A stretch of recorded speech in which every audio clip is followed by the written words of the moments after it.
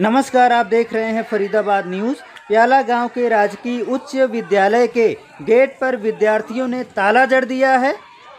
क्योंकि स्कूल में टीचर ही नहीं तो बच्चे पढ़ाई कैसे करेंगे?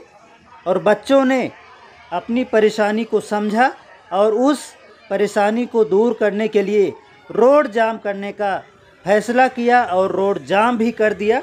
मौके पर देखिए, भारी संख्या में पुलिस बल भी पहुँच चुका है, लेकिन परिजन और बच्चे बहुत ही नाराज़ हैं, बहुत ही आक्रोशित हैं और कई दिनों से टीचर नहीं आ रहे थे, पढ़ाई नहीं हो रही थी। विद्यार्थियों का कैरियर तबाह हो रहा था और इसलिए रोड जाम कर दिया गया है। आप लोग देखिए, काफ़ी आक्रोशित हैं लोग, काफ़ी गुस्से में हैं। दोनों तरफ़ वाहन खड़े हो गए हैं।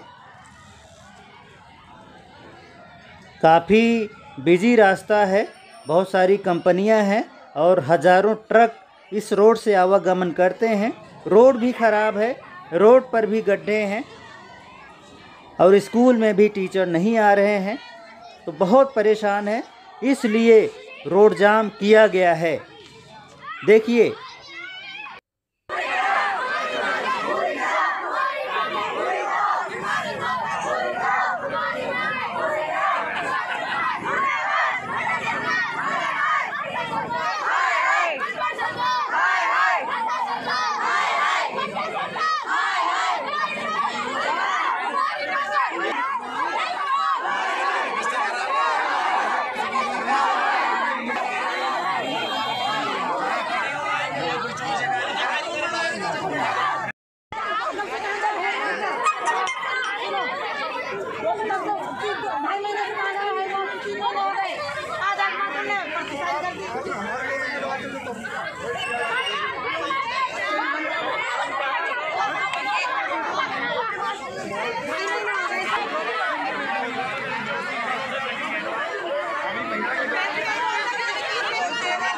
आपको बता दें, कई दिनों से ये भी शिकायत आ रही है कि कुछ सरकारी स्कूलों में टीचर आते तो हैं, लेकिन गप्पे लड़ाते हैं, विद्यार्थियों पर ध्यान नहीं देते, पढ़ाई नहीं कराते, और ऐसा फरीदाबाद के कई सरकारी स्कूलों में हो रहा है।